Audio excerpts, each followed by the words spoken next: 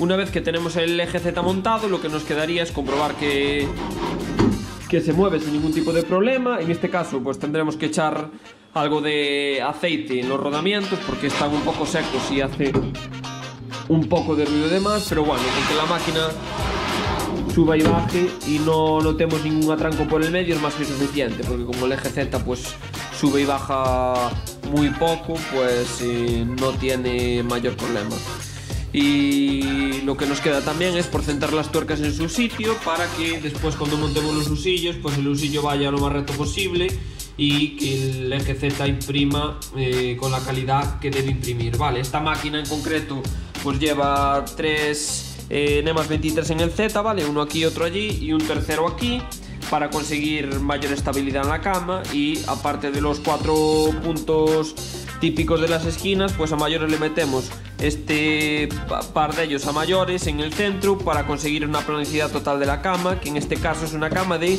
500 milímetros por 500 milímetros.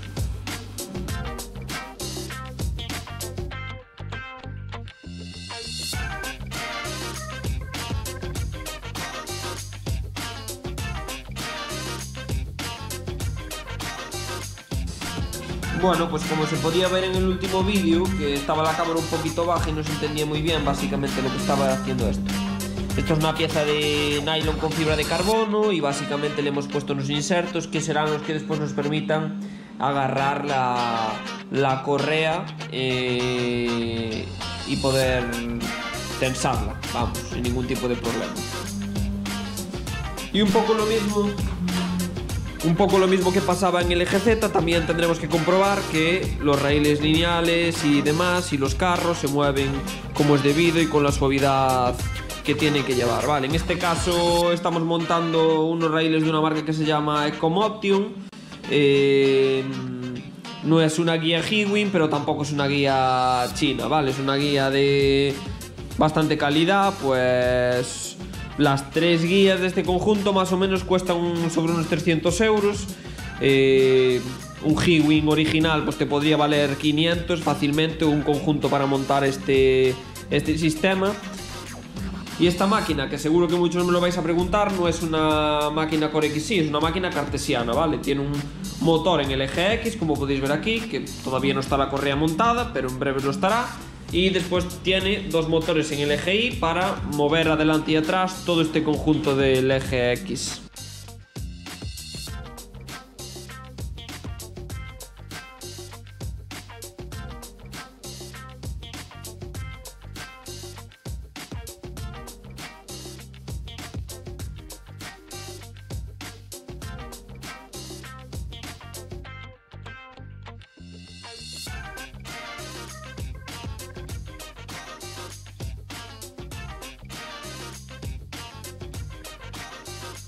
Y con las correas acabamos el, montaje de, la parte mecánica, digamos. Me faltan los usillos, pero bueno, tengo alguno por aquí que está un poquitín doblado. Entonces voy a esperar que me lleguen los nuevos y, y ya montamos los... Ya monto los usillos al inicio del siguiente vídeo, que será el vídeo ya del cableado. Que nada, nos quedarán por poner las cadenetas por aquí y demás. Y ya empezar a pasar cables para dejar la lista. Así que nada, eh, si tenéis cualquier duda o lo que sea, me lo podéis dejar en los, en los comentarios.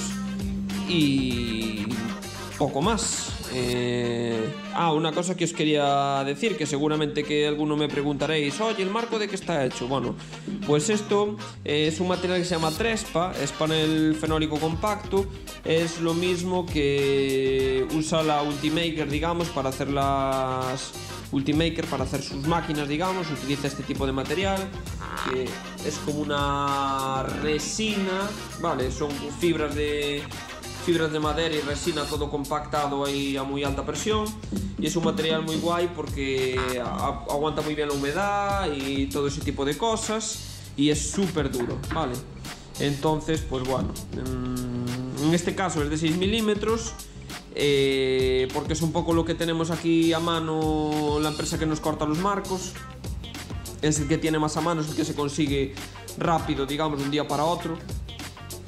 Y bueno, eh, como es de 6 y a mí me hubiese gustado que fuera de 8 porque los primeros que monté de estos iban con panel de 8 y era mucho más rígido eh, al final lo que hemos hecho es si os fijáis al principio del vídeo pues se ve que eh, monto esta estructura de, con perfiles de aluminio G-Slot vale para darle un poco más de consistencia a lo que es la estructura y que así aunque sea de 6 milímetros pues que mm, aguante mucho más.